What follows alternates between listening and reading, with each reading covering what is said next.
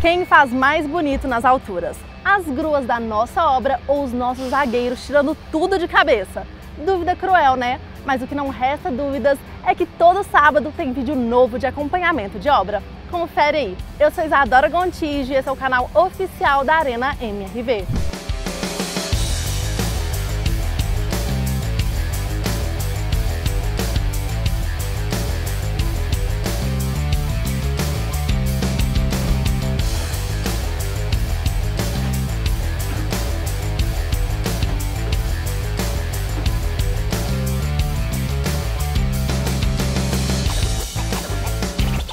Garanta seu lugar na Casa do Galo por 15 anos e ajude a construir a Arena MRV.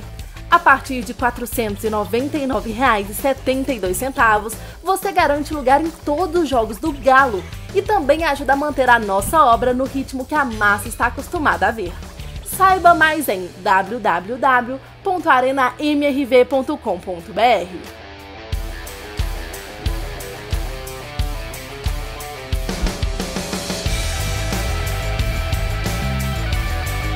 Vamos ao nosso desafio da semana. Você sabe quantas toneladas de estruturas metálicas teremos na cobertura da Arena MRV? Assista ao vídeo que no final eu revelo mais esse número da nossa obra.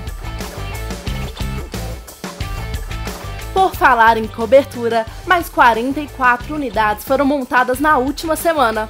Esse guindaste gigante tem capacidade de 400 toneladas e está auxiliando para que todas as peças sejam encaixadas com mais agilidade. São as máquinas fazendo bonito, assim como o ataque do galo no Brasileirão. No sistema de drenagem foram executadas mais sete caixas coletoras. Outra etapa importante para a drenagem da água da chuva na arena MRV é a hidrossemeadura, que está sendo realizada nas contenções 3 e 7 mais de 300 metros quadrados foram feitos nos últimos dias. Vejam essas lajes, uma maravilha, não é mesmo? O time que faz o capeamento executou mais 1.600 metros quadrados nas áreas do estacionamento e do estádio.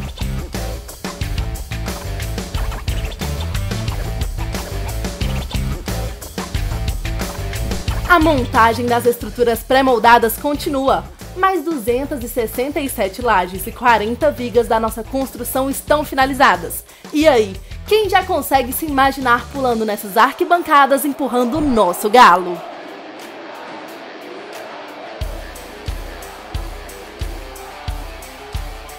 O Wellington perguntou no nosso vídeo da semana passada se a água da chuva armazenada será reutilizada na Arena MRV. Sim, Wellington. Essa água passará por um sistema de filtragem e voltará para ser utilizada na operação do estádio em uso não potável, como mictórios, limpeza e irrigação. Outra dúvida que apareceu no nosso canal foi do Framir. Ele quer saber como será a acústica da Casa do Galo. O sistema da cobertura garantirá uma acústica perfeita tanto para a torcida como para o público externo. A cobertura da arena MRV será composta por aço, alumínio e um material chamado lã de rocha. Essa lã de rocha será responsável pelo isolamento acústico, que diminuirá o impacto sonoro de jogos e eventos à comunidade. Ou seja, será um caldeirão dentro da arena MRV, sem incomodar a vizinhança. Fique ligado que na próxima semana teremos vídeo explicando todo o processo de construção da cobertura da arena MRV. Ative as notificações para ficar por dentro de tudo. Você também tem alguma dúvida sobre a Arena MRV? Coloque nos comentários. Quem sabe o seu nome não aparece aqui no nosso canal no próximo sábado. Vamos à resposta do nosso desafio. Somente a cobertura da Arena MRV terá 2 mil toneladas de estruturas metálicas. É muito aço para montar o nosso caldeirão. Que tal ver de perto a construção do sonho da massa? Agende sua visita ao Centro de Experiências Faça Bortolo e acompanhe a construção da Arena MRV com vista privilegiada do nosso deck. Ah, e você ainda pode saborear um chopp gelado e brindar a fase do nosso galo. Está curtindo acompanhar a evolução da obra da Casa do Galo?